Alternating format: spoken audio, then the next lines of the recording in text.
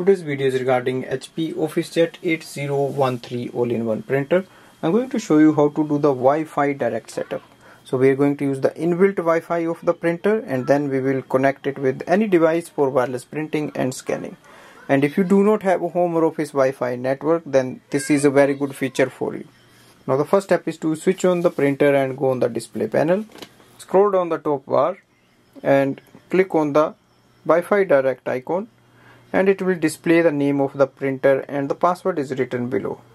Next thing is go to your iPhone and open the Wi-Fi setting. Look for the printer's Wi-Fi direct name here.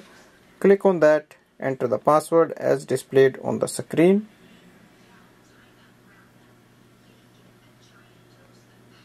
Click on the join button.